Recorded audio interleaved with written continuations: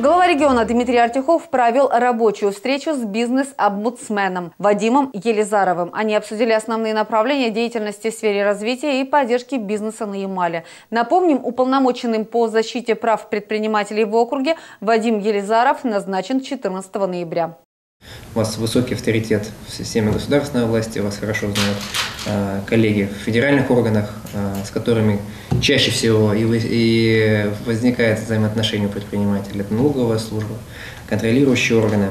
Э, уверен, что зная ваш опыт, очень хороший и опыт взаимодействия с бизнесом, будете очень эффективны на этой новой для вас, но очень интересной задаче. Приоритетами в своей работе Вадим Елизаров назвал контроль за соблюдением законных интересов бизнесменов и содействие развитию общественных институтов, которые ориентированы на защиту прав и законных интересов субъектов предпринимательской деятельности.